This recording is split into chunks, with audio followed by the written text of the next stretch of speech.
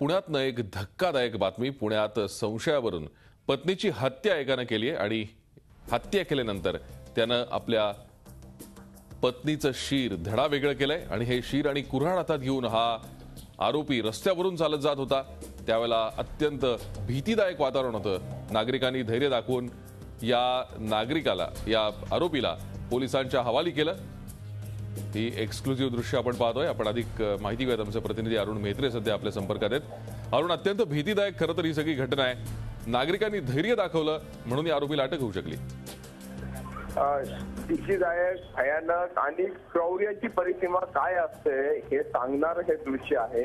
पुण्यातल्या कात्रज परिसरामध्ये त्रेपन्न वर्षाचा हा माणूस जो कुठेतरी एका सोसायटीमध्ये वॉचमनचं काम करतो त्यांनी ही हत्या केली.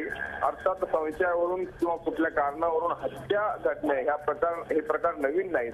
मात्र ज्या पद्धतीने याने आपल्या पत्नीचं शिर छाटलं ते धडा वेगळं केलं आणि त्यानंतर तेच शिर ठेवून म्हणजे एका हातामध्ये डाव्या हातात शिर आणि उजव्या हातामध्ये ज्या कुऱ्हाडीने वार केला होता ती कुराण हातात घेऊन हा भर रस्त्यातनं ज्यावेळी ते सगळं दृश्य पाहिलं त्यावेळी त्याला तर लोक थांबू शकले नाही. मात्र पोलिसांना त्यांनी कळवलं. आणि मग पोलीस तिथे आले. पोलिसांनी त्याला ताब्यात घेतलंय त्याला आता पोलीस स्टेशनला नेण्यात आलंय. त्याला आता अटक केली जाईल.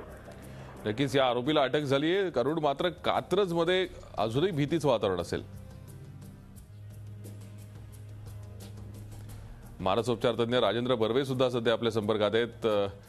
राजेंद्र बर्वे काय नक्की ही मानसिकता आहे? कशामुळे इतकं टोकाचं आणि इतकं क्रूर पाऊल त्याने उचललं असेल? मला असं वाटतं की त्या व्यक्तीला बहुतेक तीव्र स्वरूपाचा मानसिक विकार असावा असं एकूण पहिली रिॲक्शन आहे असं मला वाटतं की त्याच्यामध्ये आपण काय करतो आणि आपल्या हातनं काय कृत्य घडतंय या गोष्टीचं त्या व्यक्तीला अजिबात भान नाही. आणि पूर्णपणे त्याच्या तो आपल्या मनोविकृती विकाराच्या आहारी गेलेला आहे. सत्याचं भान नाही. त्यामुळे इतकं अमानुष कृत्य करून सुद्धा तो रस्त्यावरनं जर घेऊन जात असेल तर त्या गोष्टीची त्याला त्या व्यक्तीला कल्पना आहे की नाही हेही कळत नाहीये.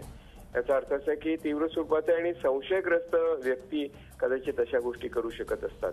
आणि एकूणच संशय घेणारी व्यक्ती पटकन मानसोपचार करून घ्यायला तयार होते असं नाही असा आतापर्यंत आमचा अनुभव आहे. त्यामुळे मनोविकारांवरती उपचार त्वरित व्हावेत. आणि सगळ्या समाजाने आणि कुटुंबानी त्याच्यामध्ये सहकार्य करावं असंच मला वाटतं. हे अधिक स्पष्ट होत आहे या भयानक उदाहरणावरनं.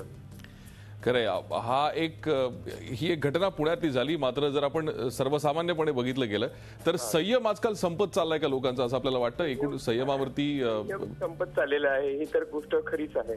त्याचबरोबर हेही झालंय की परस्पर इतकं मानसिक तणाव पण आहे. आणि त्या तणावामध्ये एक स्पर्धात्मकता आणि संशयग्रस्तता अशा या गोष्टी त्या त्यातनं वाढत जातात. आणि त्याच्यामुळे अशी घटना घडते. एकूणच मानसिक स्वास्थ्य समाजाचं बिघडलेलं आहे असं मला वाटतं या निमित्ताने. काय करायला हवं डॉक्टर याच्यावरती?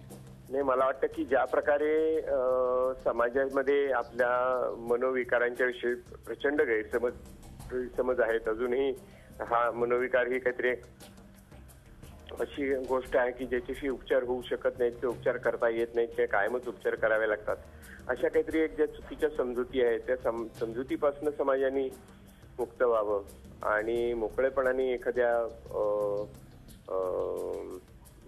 या अशा अशा व्यक्तींना माणूस मानसोपचाराची गरज आहे हे पटवून द्यावं आणि याबाबतीत त्याची पोलीस सगळ्यांनी सहकार्याने काम केलं पाहिजे असं मला वाटतं. धन्यवाद डॉक्टर. ही सविस्तर चर्चा आमच्याशी केली त्याबद्दल. डॉक्टर राजेंद्र बर्वे आपल्यासोबत होते. एकूणच अ, क्रौर्याची परिसीमा आपण ज्याला म्हणू शकतो अशी घटना पुण्यातल्या कात्रजमध्ये घडली. अत्यंत धक्कादायक घटना आहे. या घटनेमुळे समाजाचं स्वास्थ्य कसं बिघडत चाललंय याचं हे खरं तर जिवंत उदाहरण आपल्यासमोर आलंय.